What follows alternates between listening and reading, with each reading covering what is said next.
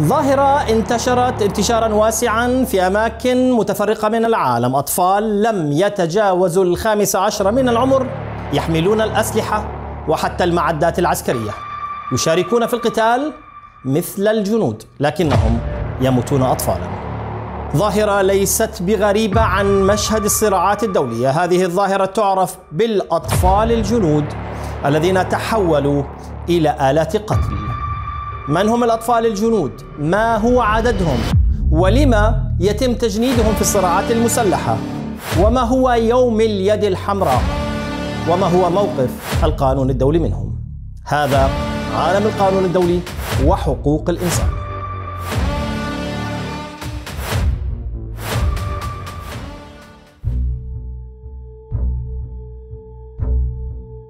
من هم الأطفال الجنود بحسب الأمم المتحدة؟ أحبائي لقد أصبحت مشاركة الأطفال في الحروب ظاهرة منتشرة وملفتة للنظر في مناطق عديدة من العالم إذ يتم استغلالهم من قبل مجموعات عسكرية تجبرهم على المشاركة في النزاعات المسلحة من خلال تدريبهم على القتل أو استخدامهم في نقل المعدات والأسلحة. وبحسب الأمم المتحدة فإن مصطلح الأطفال الجنود يشير إلى الأطفال دون سن الثامن عشر عاما والذين تستخدمهم القوات المسلحة في عملياتها العسكرية بأي شكل من الأشكال سواء مقاتلين أو حمالين أو جواسيس أو حتى لأغراض جنسية أو حتى منفذين لعمليات انتحارية للأسف كما هو الحال في أفغانستان. أكثر من 250 ألف طفل متورطون يشاركون في النزاعات المسلحة حاليا قد يكون من المستحيل تحديد أعداد الأطفال الجنود بل أن الأمم المتحدة نفسها لم تعد تعطي أرقاما دقيقة لهم ووفقا للخبراء المتخصصين بقضايا الأطفال المجندين فإن كل الأرقام التي نذكرها هي مجرد تقديرات بل أن التقديرات ليست متاحة في جميع حالات الصراع.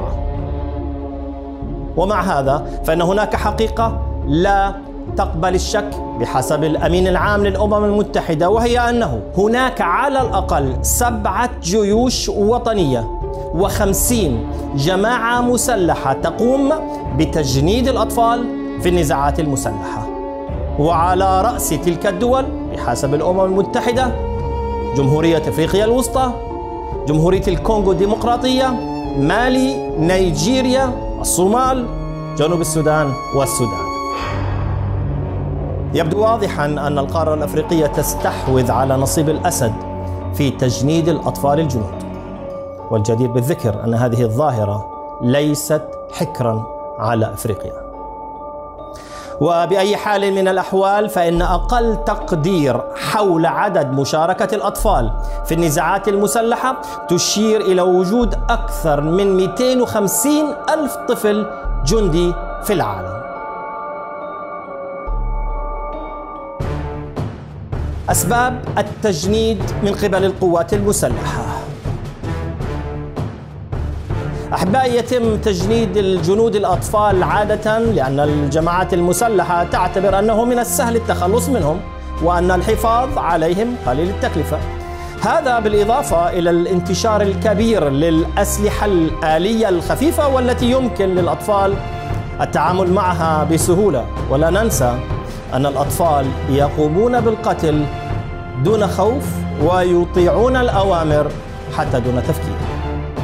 أحبائي لقد وصل الحد ببعض الجماعات المسلحة إلى إجبار الأطفال على تعاطي المخدرات لكي يصبح من السهل عليهم أن يقتلوا حي بدون أي مشاعر.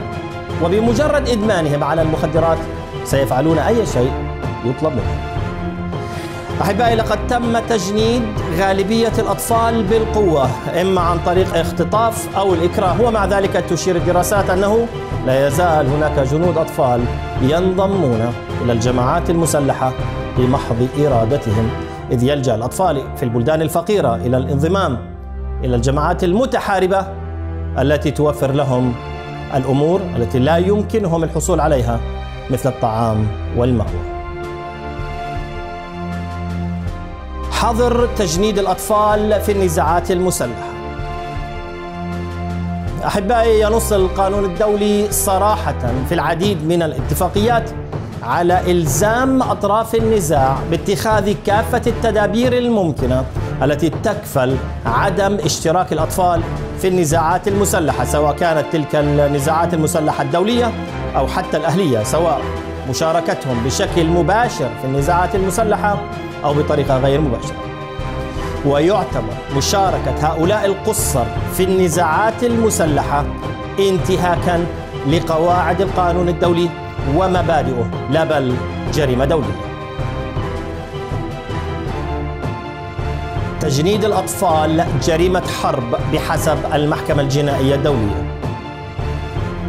أحبائي بمقتضى النظام الأساسي للمحكمة الجنائية الدولية فإن تجنيد الأطفال الزاميا أو طوعيا في القوات أو الجماعات المسلحة يشكل جريمة حرب في النزاعات المسلحة الدولية وغير الدولية حيث أن أهم قرار قد صدر عن المحكمة عندما أدانت المحكمة الكونغولي المجرم توماس لوبانجا بتهمة تجنيد أطفال. ويعد هذا الحكم وهو أول حكم يصدر من المحكمة الجنائية الدولية بشأن تجنيد الأطفال. خطوة رائدة على مسار محاربة الإفلات من العقاب. يوم اليد الحمراء أو اليوم العالمي لمواجهة تجنيد الأطفال في الأعمال العسكرية.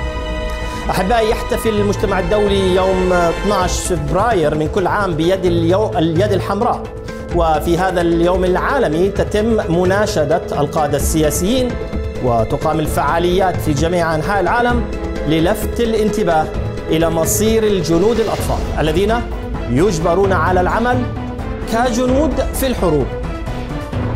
وعلى الرغم من تجريم القانون الدولي تجنيد الأطفال واستخدامهم في العمليات العسكرية لكن تظل ظاهرة الأطفال الجنود مستمرة ومصدر قلق للمجتمع الدولي. تحتاج إلى تضافر الجهود للقضاء عليها.